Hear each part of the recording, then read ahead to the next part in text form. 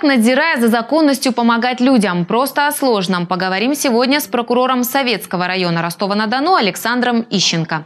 А тема – выявление и постановка на учет бесхозяйных объектов. Прежде чем начнем, предлагаю посмотреть сюжет.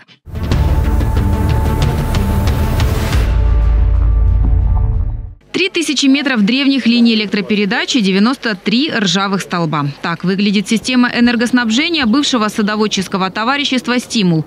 Некоторые ЛЭП от старческой немощи падают прямо во дворы частных домов и, как следствие, перебои с электроэнергией. Самые наши основные проблемы – это со светом.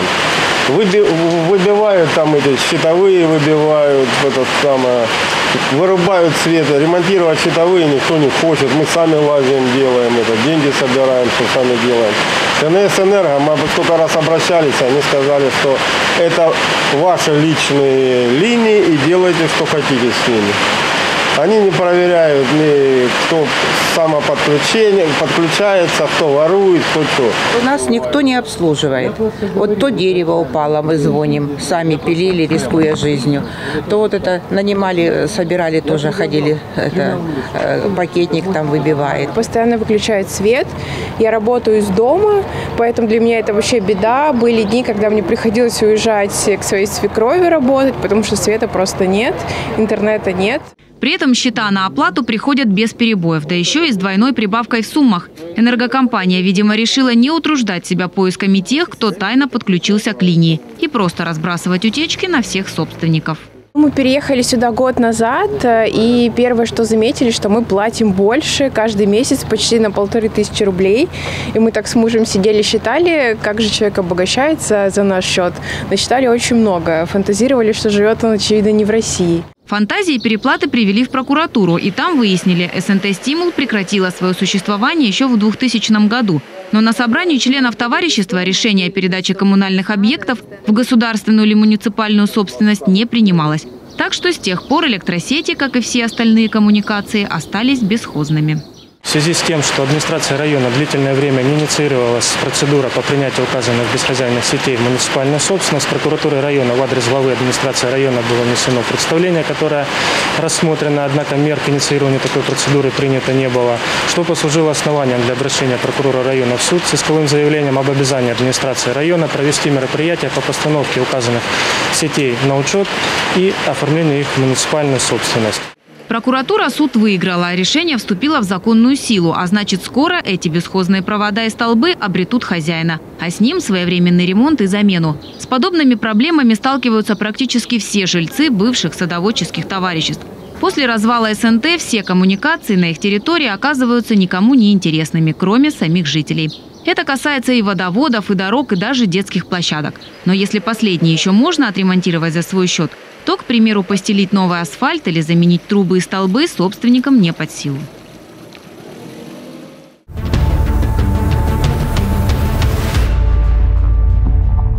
Итак, бесхозяйные объекты. Что это такое, как их выявить и правильно поставить на учет, какие сложности при их наличии возникают у жителей нашего города и куда обращаться в случае обнаружения такого объекта. Ситуацию разъяснит прокурор Советского района Ростова-на-Дону Александр Ищенко. Александр Юрьевич, здравствуйте. Добрый день, Анастасия. Первый вопрос. Что такое бесхозяйная вещь? Согласно гражданскому законодательству, бесхозяйная является вещь, которая не имеет собственника или собственник которой неизвестен, либо от права собственности, на которую собственник отказался. Понятие бесхозяйной вещи определено в статье 225 Гражданского кодекса Российской Федерации. Какие чаще всего бесхозяйные объекты на территории Советского района выявляются? Чаще всего в ходе проверок мы сталкиваемся с такими бесхозяйными объектами, как электрические сети, газопроводы, автомобильные дороги, элементы благоустройства, детские игровые площадки, тепловые сети. Угу. А в чем сложность определить собственника? Проблема заключается в том, что отсутствие собственника препятствует определению организации, которая будет на законных основаниях проводить ремонт и обслуживание данных сетей или объектов. Иными словами, если внутриквартальная автомобильная дорога э, не будет иметь э, собственника и находится э, в этот момент в неудовлетворительном состоянии, ямы, выбоины, другие повреждения, то при отсутствии собственника, повторюсь, обслуживание данной дороги производиться не будет, и, естественно, денежные средства из муниципального образования выделяться на ремонт этой дороги не будут. Также, например, если отсутствует организация, которая обслуживает линии электропередач, ну, допустим, э, это касается чаще всего дачных товариществ. Если отсутствует такая организация, то это может привести в первую очередь к износу электрических сетей, а также к коммунальным авариям. Если не будет обслуживаться, допустим, ливневая канализация, то это может повлечь за собой в первую очередь подтопление, затопление территорий, домовладение граждан, частной собственности других каких-то объектов на территории нашего района. В связи с этим орган местного самоуправления обязан проводить мероприятия на постоянной основе по выявлению таких бесхозяйных объектов, с целью определения их собственника. В ином случае обязан инициировать процедуру принятия такого имущества в собственность муниципального образования. К примеру, к примеру, мы проводили проверки по дачным товариществам. Это у нас э, СНТ «Стимул», э, дачное товарищество «Дон», э, где мы установили, что электрические сети, находящиеся в этих дачных товариществах, не имеют собственника. В связи с этим мы вносили представление э, в администрацию Советского района для устранения нарушений и выполнение процедуры, которая прямо прописана в постановлении э, главы администрации города Ростова-на-Дону номер 336 от 25 апреля 2019 года. В связи с тем, что администрация Советского района не выполнила и не устранила нарушения, которые мы указали в своем представлении, мы обратились с таким э, исковым заявлением уже по нуждению администрации района суд Советского района города Ростова-на-Дону. Э, по СНТ «Стимул» состоялось судебное решение, угу. которое было обжаловано администрацией Советского района, но это решение еще прошло и кассационную инстанцию. И вот в феврале этого года кассационная инстанция приняла свое решение, вынесла определение, где было сказано, что решение Советского суда является законным и оснований к отмене не имеется. В связи с этим теперь решение суда, э, мы истребовали решение суда из э, эм, истребовали решение суда, э, истребовали копию исполнительного листа и направили все это для принудительного исполнения в службу судебных приставов по юридическим лицам города Ростова-на-Дону. В настоящее время исполнительный лист взят в работу и начинается мероприятие по исполнению судебного решения. Что касается детских площадок, по одному из обращений мы проводили проверку и выявили, что по проспекту Стачки находится детская площадка в неудовлетворительном состоянии. Элементы детской площадки были повреждены. В связи с этим мы э, вносили представление в администрацию Советского района, и после того, как э, по нашему представлению не были приняты меры по по проведению мероприятий, связанных э, с принятием бесхозяйного имущества в собственность, мы обратились с исковым заявлением в суд. В настоящее время исковое заявление по данному объекту бесхозяйному слушается в Советском районном суде. Можете вы поподробнее рассказать про порядок выявления таких объектов и принятия в собственность? Да, значит, целью реализации таких мероприятий постановлением администрации города Ростова-на-Дону от 25 апреля 2019 года издано э, распоряжение и утверждено положение номер 336 о порядке принятия бесхозяйного имущества Э, и выморочно имущество в собственность города Ростова-на-Дону. Согласно указанному положению, администрация района, у которой на территории района был выявлен бесхозяйный объект, обязаны в течение 15 дней после обнаружения такого объекта создать комиссию. Комиссия приступает к своей работе и начинает э, рассылать э, запросы в первую очередь по адресу расположения данного имущества чье оно кому принадлежит. Если также направляет запросы в соседние организации, которые территориально расположены рядом с бесхозяйным объектом. Если на запросы поступили отрицательные объект, ответы и собственники не установлены, то администрация района делает уже объявление в средства массовой информации, э, где приглашает собственников, в принципе, явиться в администрацию и заявить свои права на данный объект. Вот если после этого собственник не появляется, то составляется акт о, о невозможности установления собственника данного бесхозяйного объекта. После того администрация района проводит мероприятия по изготовлению технического плана данного объекта. Когда план будет изготовлен, администрация района уже обращается в управление казной города Ростова-на-Дону с письменным заявлением о включении данного объекта в реестр бесхозяйного имущества города Ростова-на-Дону. Управление казной в дальнейшем также направляет запросы по данному объекту в соответствующие органы и после получения ответов готовит распоряжение о включении данного объекта в реестр бесхозяйного имущества. И обращается в орган по регистрации прав э, с заявлением о постановке бесхозяйного объекта на учет. И кто... бесхозяйного. И что тогда происходит далее с этим объектом? По истечению одного года со дня постановки бесхозяйного объекта на учет в ЕГРН, ДИЗО или уполномоченные э, органы, это управление казной города Ростова-на-Дону, обращается в суд с иском о признании права муниципальной собственности на данный бесхозяйный объект.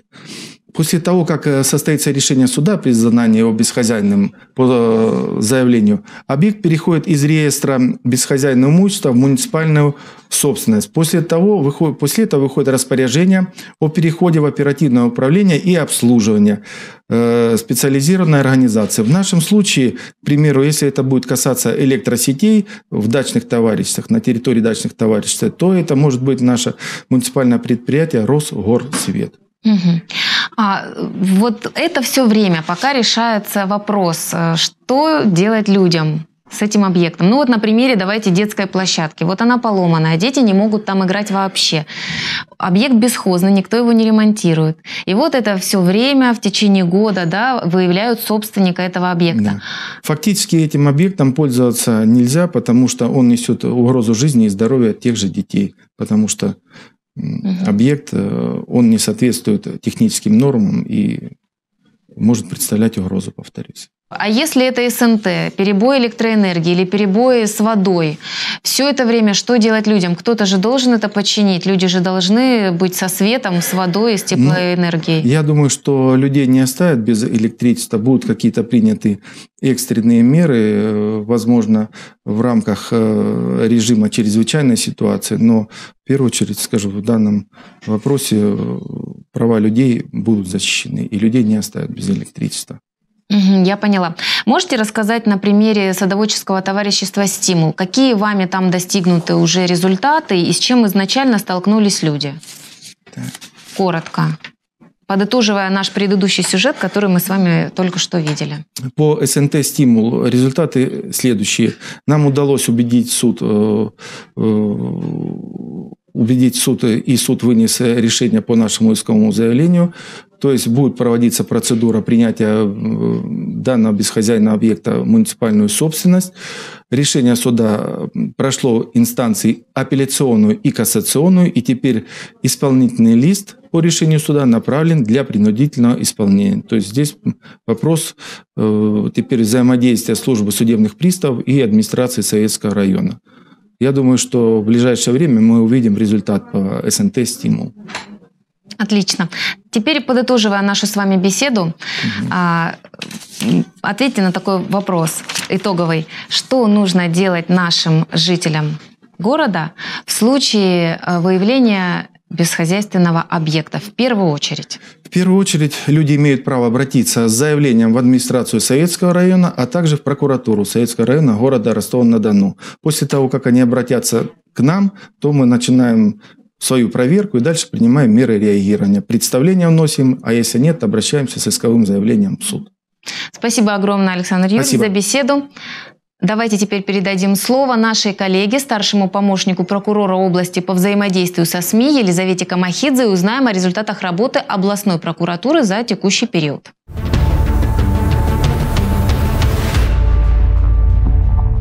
Добрый день. В Багаевском районе прокуратура установила, что техническое состояние пяти игровых площадок в Малочском сельском поселении не соответствует нормативным требованиям. Оборудование имеет множественные дефекты и повреждения. Отсутствует ударопоглощающее покрытие. С целью понуждения органа местного самоуправления привести площадки в надлежащее состояние, Прокуратурой был принят комплекс мер реагирования. В том числе в суд направлено исковое заявление, которое удовлетворено. Аналогичная ситуация сложилась и в Песчанокопском районе. Однако там, по мерам прокурорского реагирования, местные власти уже восстановили 7 игровых площадок. В городе Ростове-на-Дону прокуратура установила, что органами местного самоуправления не приняты меры к ремонту 20 муниципальных квартир специализированного фонда на бульваре Комарова. Жилье находится в непригодном для проживания состоянии. Прокуратура внесла представление в администрацию города, однако требования прокуратуры исполнены не были. Это послужило основанием для обращения в суд. Исковые требования прокуратуры были удовлетворены, и после вступления решения суда в законную силу чиновники будут обязаны привести квартиры в надлежащее состояние. В Оксайском районе руководитель риэлторского агентства переговорена к шести с половиной годам лишения свободы за мошенничество. Женщина похитила денежные средства четырех клиентов. Обещая продать гражданам земельные участки, она оформила фиктивные договоры купли-продажи и взяла у покупателей предоплату в размере полной стоимости недвижимого имущества. При этом выполнять взятые на себя обязательства фигурантка не намеревалась. Денежные средства потерпевших на общую сумму 27 миллионов рублей она похитила и распорядилась по своему усмотрению. Также женщина незаконно переоформила два земельных участка общей стоимостью 5 миллионов рублей на себя и свою мать. В Ворошиловском районе города Ростова-на-Дону прокуратура направила в суд уголовное дело в отношении 41-летнего местного жителя. Он обвиняется в умышленном причинении тяжкого вреда здоровью своему отцу, повлекшим по неосторожности его смерть. По версии следствия, в феврале этого года фигурант, находясь в своей квартире на бульваре Комарова, в состоянии алкогольного опьянения поссорился со своим отцом. В ходе конфликта он нанес пожилому человеку множественные удары руками и ногами по различным частям тела. От полученных повреждений потерпевший скончался.